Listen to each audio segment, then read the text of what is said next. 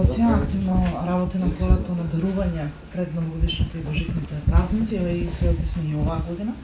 Повторно, а, сте помеѓу најмалите, помеѓу дечињата секако до 14 години. А, колку пакети имаме оваа година за струмичките деца и децата од руралните За струмици за Струмичкиот крај имаме околу 1500 пакети кои ќе ги делиме во три општини во, во општина во а, Струмица, Ново село и Босилово.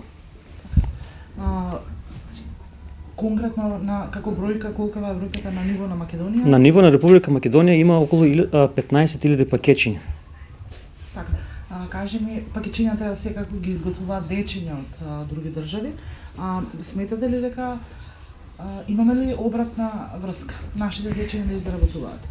А, децата кои што ги посетуваме значи, по училиштата, тие даваат изјави дека и тие самите подготвуваат пакетчиња кои што им даваат на други деца кои што се во потреба и тоа е многу убава акција и многу убава идеја. Така оваа традиција во земјава колку време трае? А, следната година славиме 20 години јубилеј. Значи од 1999 на вам, што е супер јубилеј.